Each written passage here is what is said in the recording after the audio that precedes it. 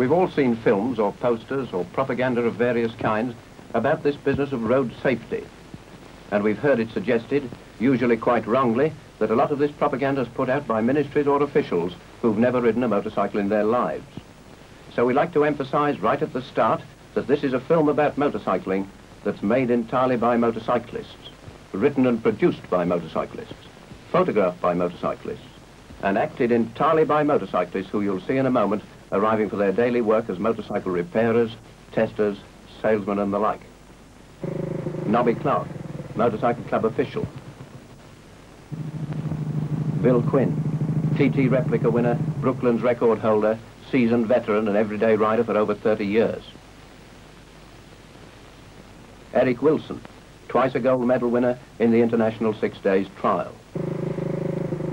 Keith Walker, trials rider and short circuit racer. Ken Morris, Isle of Man TT rider. And the rest, more than 50 keen everyday motorcyclists. All these experienced men are fond of motorcycle sport in one form or another, trials or racing, solo or with sidecar.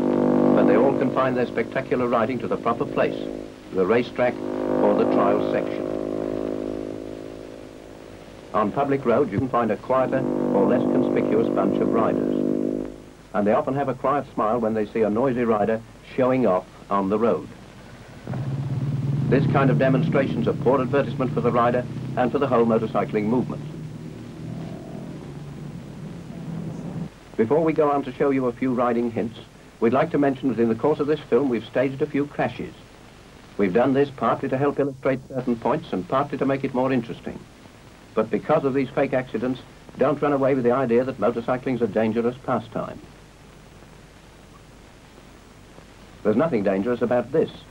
Any possible danger depends on the user.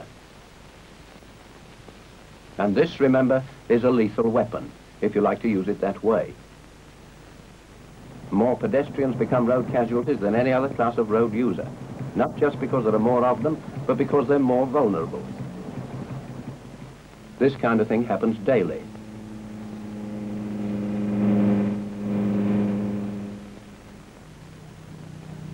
And the pedestrian usually comes off worst. Pedal cyclists and motorcyclists are vulnerable too. So it's up to them to take extra care to keep out of trouble. And we're going to try to show you how, by demonstrating some of the things we've learnt the hard way from actual experience. And remember that every single one of the incidents you're going to see isn't just a theoretical possibility. It's something that's actually happened to one of us or to someone we know during long years of hard riding. First, we'll deal with maintenance. A good rider keeps his machine in safe, roadworthy condition. Look after the brakes. Keep both brakes in good adjustment. Take care of the control cables. Watch the brake cable here and replace it if it shows signs of fraying. Otherwise, when you pull it hard in an emergency, this is what's likely to happen. Watch the throttle cable too. We can remember nasty experiences when the throttle's stuck open, and we've learned to give regular attention to the cable, and to renew it at the first signs of wear. A badly adjusted chain can cause a bad moment if it comes off and wraps itself round your rear wheel.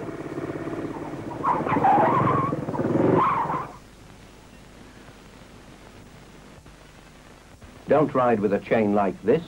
Adjust it until there's only the right amount of slack, like this. Check your tyre pressures. Wrong pressures cause unsteady steering. And after all, it's not a lot of trouble to inflate a soft tyre, provided your lungs are in good condition. And don't ride a yard with a cut tyre. Bald tyres like this encourage skidding and in any case cause frequent punctures. Bad tyres are a nuisance and a danger. Renew them before they're too far gone. Test the lights and pay particular attention to the dip beam. See that it dips properly and adjust the setting so that you don't cause dazzle.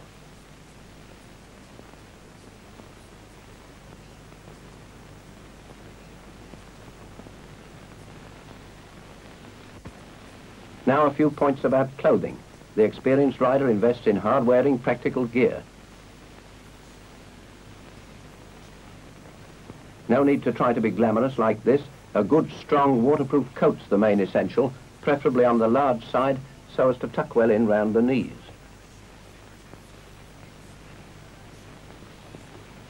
And tough, sensible gloves, and it's a good tip to sew on a scrap of wash leather for wiping rain off goggles. This type of glove, treated with a reflecting material, will help to make sure that your hand signals are visible by day or night.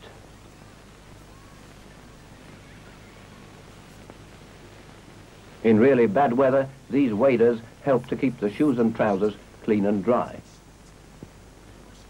If you wear a scarf, tuck it well in. A loose scarf or a trailing belt can cause trouble if it catches in the chain. Another tip, a towel round the neck soaks up rain. And if you're caught with a thin coat, a thick wad of paper helps to keep out the wind. When choosing goggles, get a pair with a wide field of vision, so that you can see things out of the corner of your eye, like these. And quite apart from the obvious protection in an emergency, a well-made protective helmet keeps you warm and dry. For safety and comfort, this type of headgear is the choice of the expert.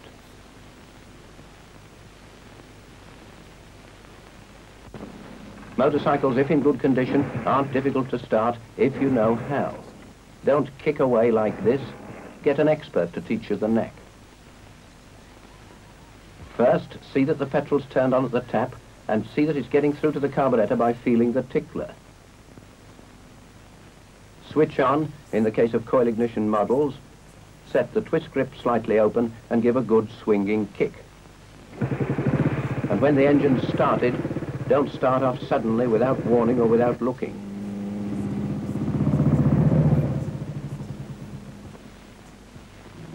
Look round and wait till it's safe.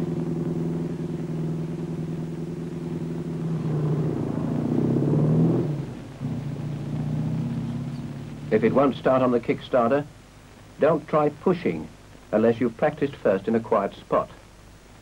This shot's based on an actual incident where a machine ran away with its pusher and injured some pedestrians.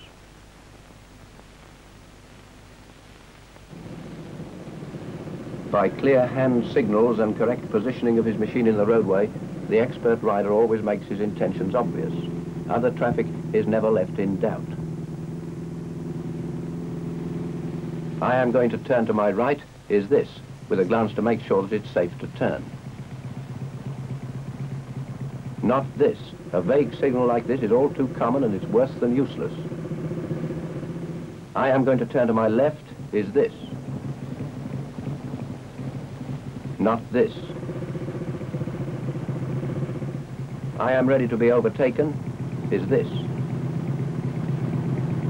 Not this. I am going to slow down or stop is this. And this signal is very often used wrongly. Use it sparingly. Here's a case where it's useful. The rider's telling traffic behind that he's going to slow down unexpectedly.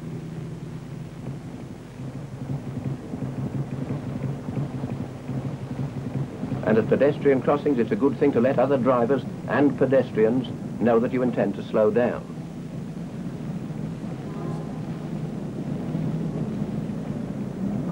But if you're pulling into the curb, this overtake signal is much more helpful.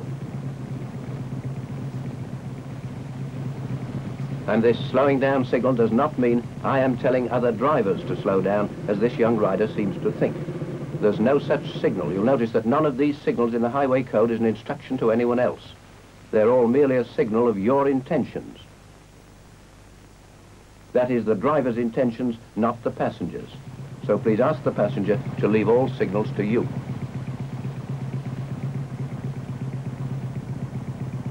But just giving a signal isn't the whole story of making a turn. Correct road positioning is equally important. Making a right turn, the experienced man filters to the crown of the road, or the right-hand side of the road in the case of a one-way street. Leaving the left of the road clear for other traffic which may want to go straight on.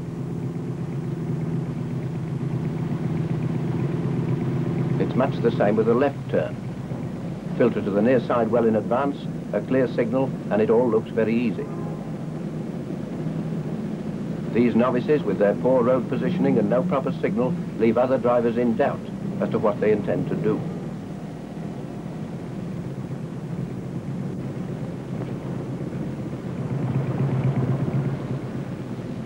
At crossroads or road intersections of any kind, the seasoned rider's always on his guard. But it's not only the major junctions that call for care. These minor crossings where there's nothing to indicate which is the major road are often more dangerous. And it's worth noting that at places like this, the seasoned racing man is noticeably slower than the novice.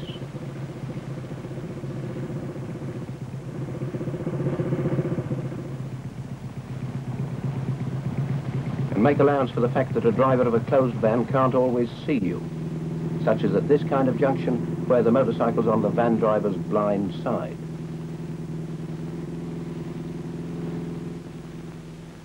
and don't be encouraged to cross just because a passer-by waves you on. Always be cautious about signals given by pedestrians. They can't be relied on. And in these cases, the pedestrian's invariably missing if there's an accident. Hey, you, come back. At this next crossing, watch those pedestrians. Their actions give a warning. Watch the pedestrians again. This is a better sign. A halt sign means halt. The law says you must come to a complete and absolute stop just before the line. And that's exactly what the wise rider does, even when it seems unnecessary. Just slowing down isn't enough.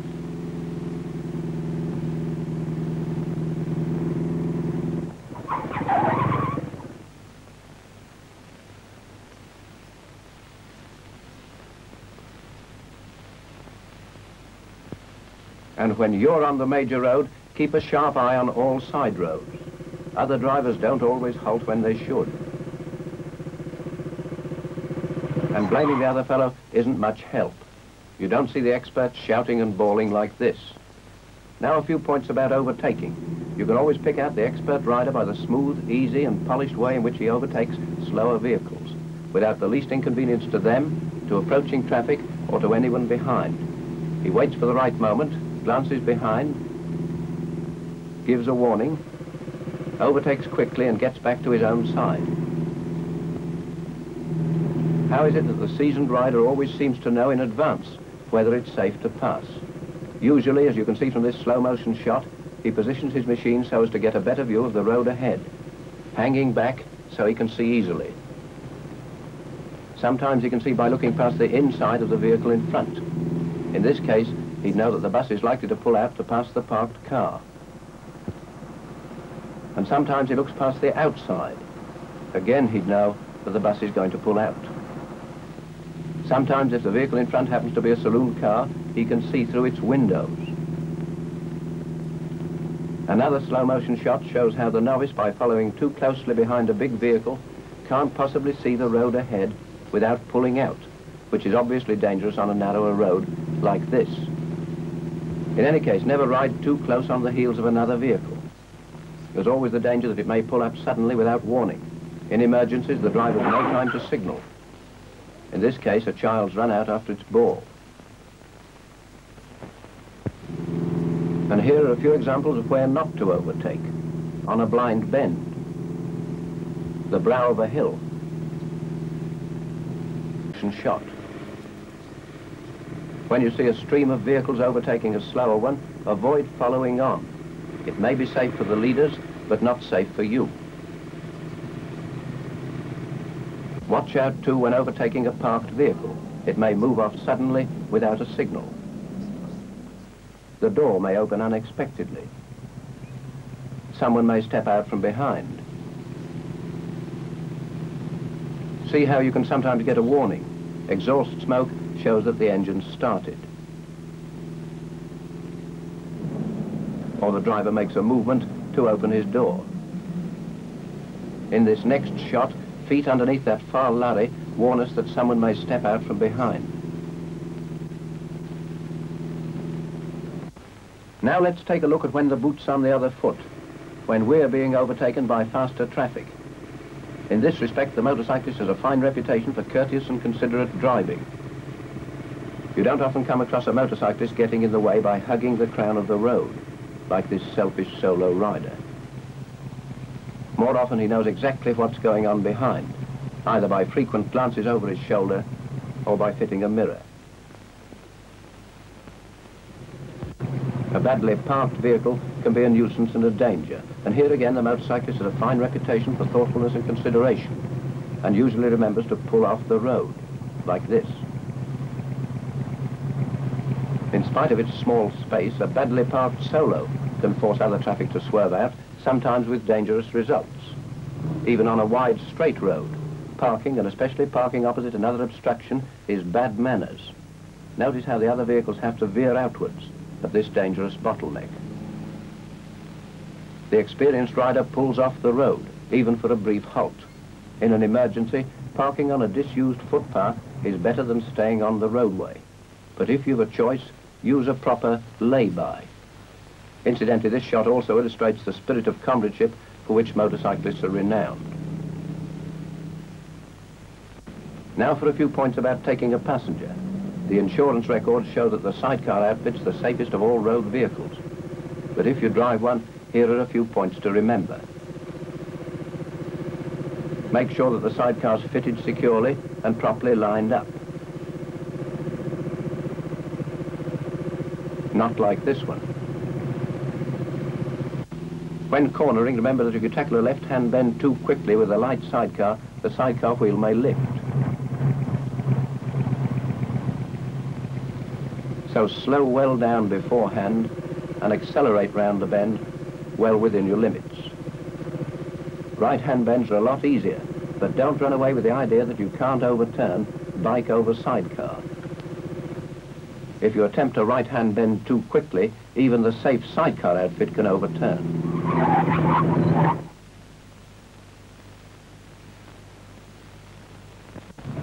If you're going to take a friend on the back, don't attempt it without a proper seat.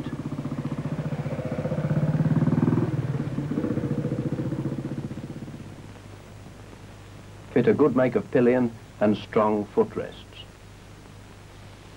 This kind of dual seat's safe and comfortable.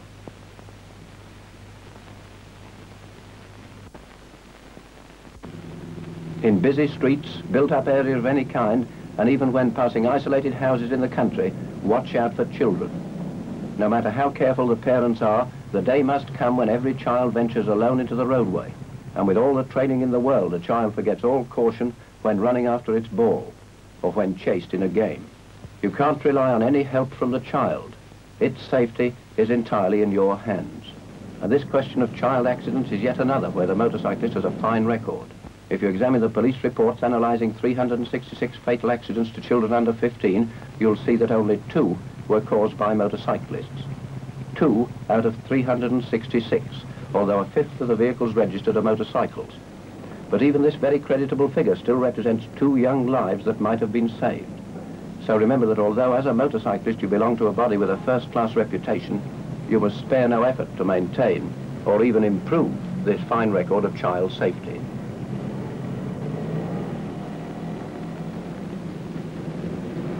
When the road surface is wet, reduce speed. Learn to recognize the more slippery road surfaces.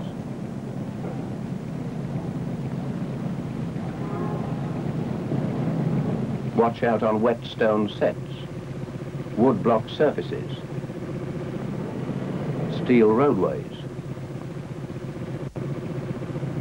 tram lines,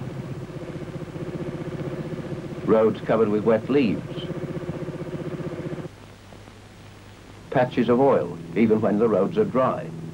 Oily roads are often found at bus stops. Loose gravel, especially on bends. All these treacherous surfaces call for extra care. So avoid sudden changes in direction or changes of speed. Hard braking on a bad surface will always lead to trouble. Even on a good surface, do all your braking with the machine vertical and travelling in a straight line. Apply both brakes smoothly and progressively. Change down and use your gears as a brake. And remember that the front brake's the more important of the two. Ice-bound and snow-covered roads call for even more care. Freshly fallen snow isn't so bad, but where possible, pick a path where the snow hasn't been packed down into ice by the passage of vehicles. When the road's covered with smooth ice, it's often a good plan to ride in the gutter, where there's usually a certain amount of grit, to provide some wheel grip.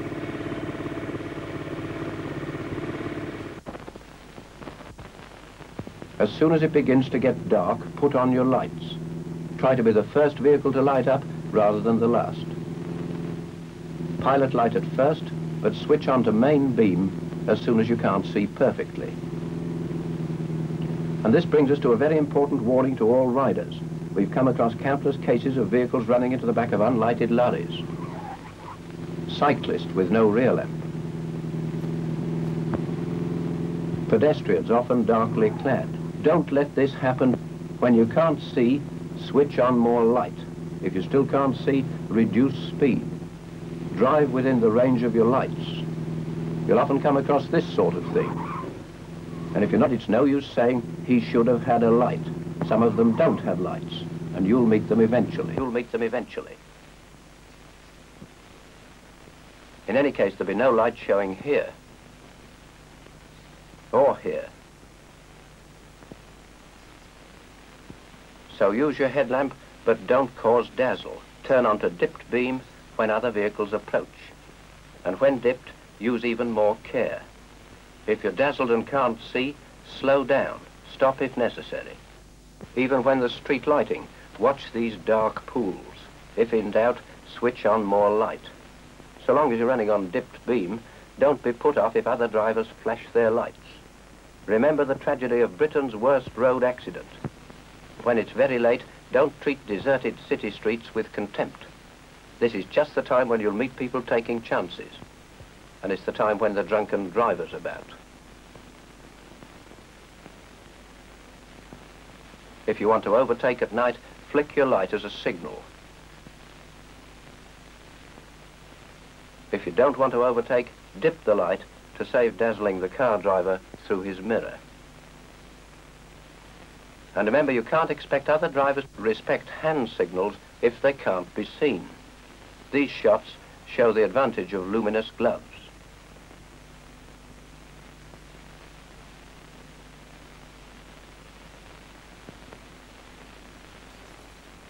And remember, if you see a light like this, it may be a solo motorcycle. But give it a wide berth, for it may be something much bigger, with one lamp faulty. At night, and especially in fog, these cat's eyes are a boon, and we wonder how we ever managed without them. On a foggy night, keep well to the left. You may meet vehicles astride the line. On a dark, foggy night, use a well-dipped headlamp. And switch on that dipped headlamp if you strike fog during the daytime. Pilot lights are useless. You can't see them until long after you've seen the vehicle itself. This Solo has a pilot light on. Whereas this headlamp gives ample warning of approach, long before the dark bulk would have come into view if he'd had a pilot light only.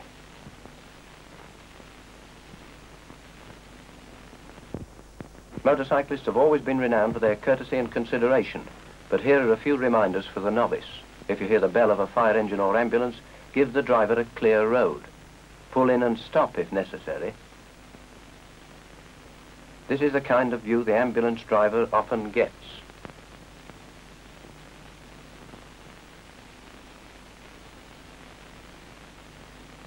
How much easier for him if other traffic gives way.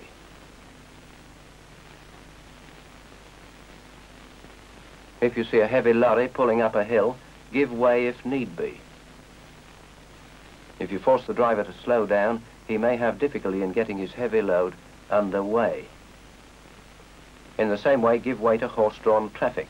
When passing horses, make as little noise as possible so as not to startle them. And make allowances for the drivers of invalid carriages or anyone else in a difficulty. If you want to know the way, don't ask a point-duty policeman. Find someone else to ask.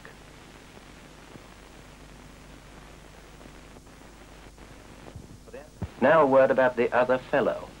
Do you ever stop to consider his point of view? You share the roads with 50 million others. Drivers, cyclists, pedestrians of all ages and all standards of intelligence and education. Some young and fit, others old or not so fit. All of us make mistakes sometimes, make allowances for theirs. This kind of fist shaking is the sign of a bad driver, one who's not yet learnt to be tolerant. How much nicer to see a wave and a friendly smile. And look at this case. Repeated horn blowing like this is illegal as well as ill-mannered. This is the type of rider who gets motorcyclists a bad name.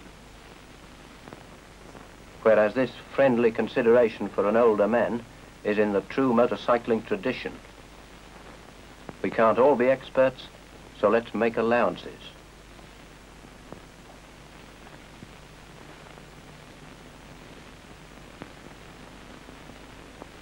One final word.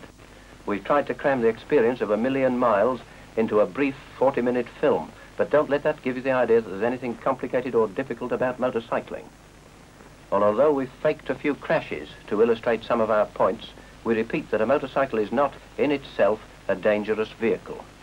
Inevitably, there are a few dangerous riders, just as there are dangerous drivers of cars and lorries, which are bigger, and therefore more lethal, vehicles but by applying a little care and thoughtfulness and common sense, you'll find motorcycling a safe, healthy and economical means of transport. Good luck and safe motorcycling.